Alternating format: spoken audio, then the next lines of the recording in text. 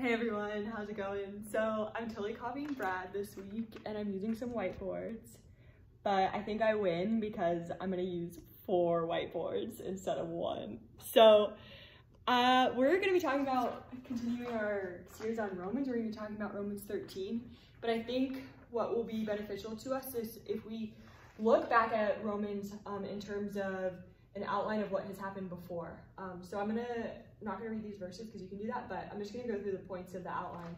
And I think it will help us understand why um, Romans 13 exists and, and why God asks us to do the things he asks us to do. So for first point of the outline of Romans, the righteousness of God. Paul starts on talking about that. Then he talks about our lack um, of righteousness and our need for it. Uh, the third point is the gift of the righteousness of God, the fact that it's ours. Um, we needed it, we have it because God gave it to us. Um, fourth point, the challenge to the righteousness of God. Um, Paul was kind of refuting what some people were saying about the righteousness of God, and he was kind of clearing some things up.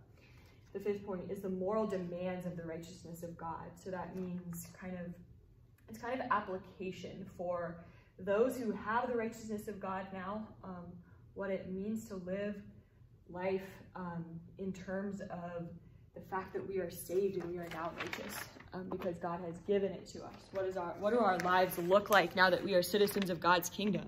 So let's move on over here.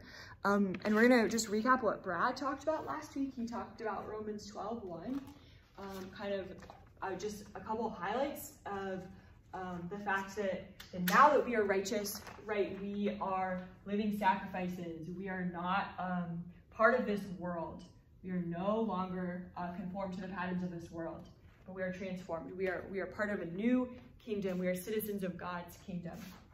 And so we're transformed. We're now able to know God's will, test and approve what God's will is his good, pleasing, and perfect will. And we're able to now walk in his will, which is so awesome. And there's kind of this parallel verse um, here that is going on in Romans 7 12. And I think it, it kind of sheds light onto what God's will is because I think that is a question we ask, oft, ask often what is God's will for my life? And it is clear here um, that it is to follow the law.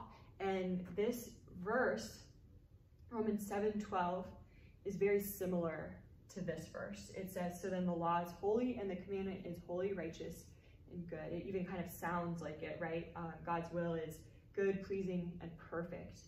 Um, so I think we can parallel these verses and, and come to the conclusion that following God's law is his will for our lives. Um, and, and that is true because we are now pronounced righteous, because we are walking in his ways and, and we are not walking in ours anymore. We are free from sin and, and free from having to sin all the time. And we are free to walk in his love and his law. Um, so which brings us to Romans 13. And I'm going to pray real quick before we read, but um, we're going to start Romans 13 verse 8, but let me pray really quickly. Um, God, I thank you so much for you, for what you've done in our lives, Lord, um, what you are continuing to do. Um, God, just for your sacrifice, uh, which, which allowed us to taste your righteousness and to know it and for it to be true about us, God. I thank you so much for that. Um, I pray that we can honor you with our lives, uh, that we can live as living sacrifices, God, knowing that um, the desire of our hearts, God, are, are, for you and for your glory and your name to be proclaimed. Um, free us from selfishness as we, as we think about these things and how to honor you, God.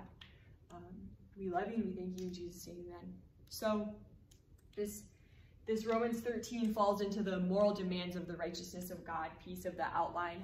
Um, and that is basically application for us. So how specifically should our lives look now that we know Jesus? Um, now that he has changed our lives, what do they look like? Because they're gonna look different and they're gonna be new, right? We are new creatures in God. So um, Paul tells us in Romans 13 verses 8 through 10, let no debt remain outstanding except the continuing debt to love one another for whoever loves one another has fulfilled the law. The commandments, you shall not commit adultery, you shall not murder, you shall not steal, you shall not covet, and whatever other command there may be, are summed up in this one command, love your neighbor as yourself. Love does no harm to a neighbor, therefore love is the fulfillment of the law.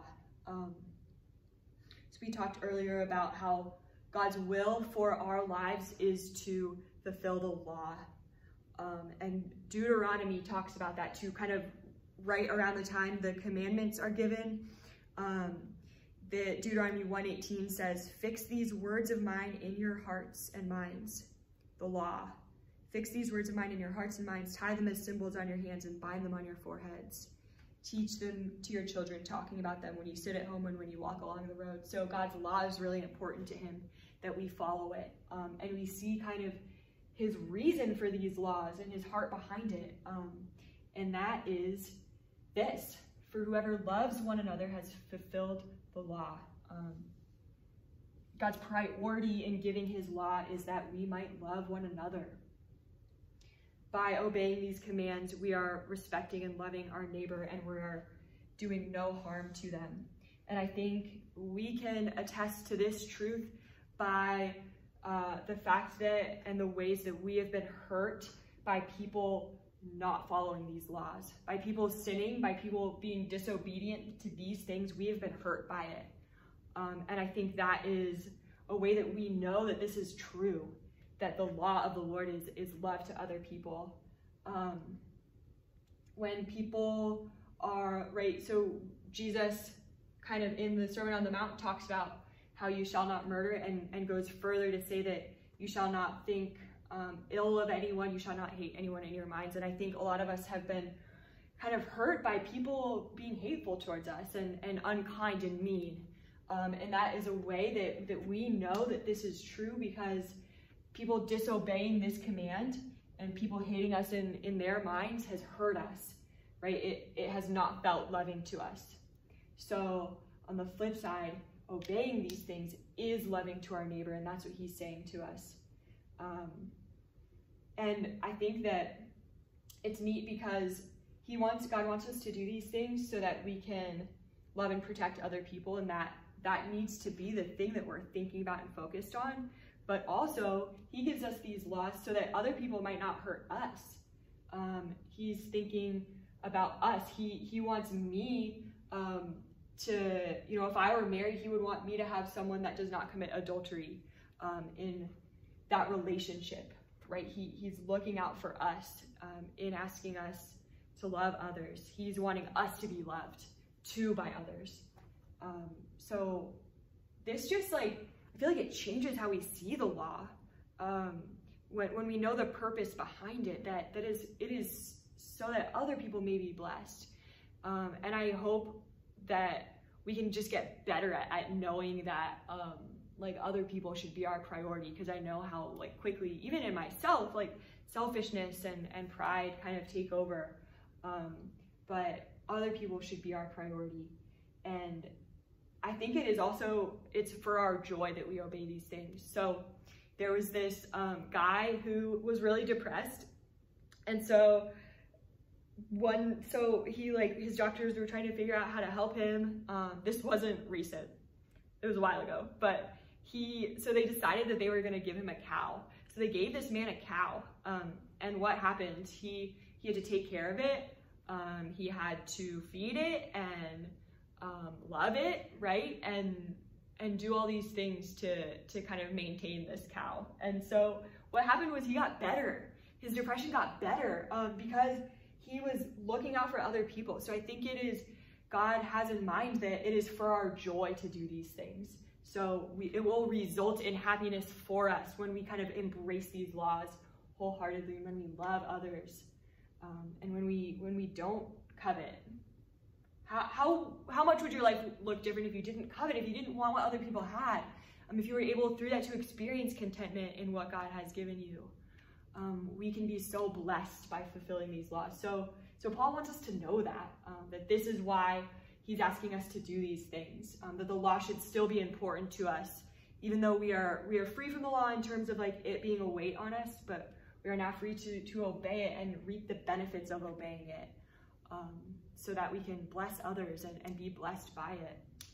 So I want us to keep that in our minds as we talk about the first part of Romans 13. And um, this part of Romans 13 is going to be talking about authority. Um, and I think it's God has some interesting things to say about this and some really good reminders. So I'm going to bring this a little closer. Um, so Romans 13, 1 through 7 says, Let everyone be subject to governing authorities, for there is no authority except that which God has established. The authorities that exist have been established by God.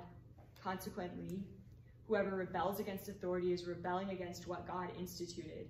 Therefore, it is necessary to submit to authority. So I want to talk about this passage really quickly. Um, and, and I think there's some, some things that jump out to me right away. So he's talking about governing authorities, people in places of authority. Um, and so I just see some repetition here. There's no authority except that which God has established. Um, the authorities that exist have been established by God. Again, he says the same thing.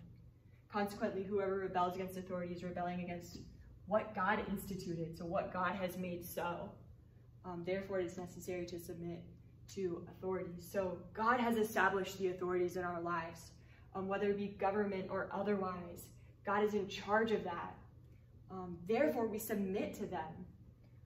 We follow laws.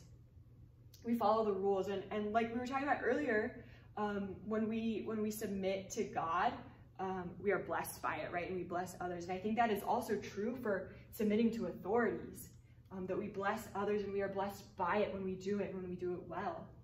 Um, so we pay taxes and we don't grumble when we do it. And that's maybe the harder part is the not grumbling part. Um, so that people can get paid for authorities are God's servants who give their full time to governing. And I think that has changed, as I've been thinking about this, that has changed how I think about taxes. Like it is for, for people that I'm paying taxes, for their salaries and, and things. Um, it changes how we think about it. So verse 7 kind of goes into more detail of what it looks like to obey an authority that God has put in our lives. Um, it says, give to everyone what you owe them. Give to everyone what you owe them. If taxes, pay taxes. If revenue, pay revenue. If respect, then respect. If honor, then honor. And I think as this list goes on, these things get harder and harder. So taxes, um, revenue, respect is, it's harder to respect people, especially when we disagree with them. It's harder to honor people um, that we have a hard time with. And I think in, in our kind of crazy political uh, climate that's going on right now, these things are even harder to respect and, and honor people in authority because most of the world is not doing that. Um, they like to complain. And I think like, you know, God, God has our lives look so different than the rest of the world, um, which is often why persecution happens. But like, how different would it look if, if you are standing, if you who have jobs, you're standing around with, and your coworkers are all like roasting your boss? What if you didn't do that? What if you respected them and honored them? Um, it would look different. And God is asking us to do that because God is our authority, right? Jesus is our savior, yes, but God is also our Lord in our life. So we do, um, so we obey him. And I think we like never know what will happen through an act of obedience. Um, and I think this is true for the things that we talked about for loving others. Like, right, we are so affected when people sin. It affects us, it hurts us. Um, we never know how other people are going to be blessed by obeying the law. We never know who that's going to touch and who that's going to help. And I think we see this example in, in Jesus obeying God.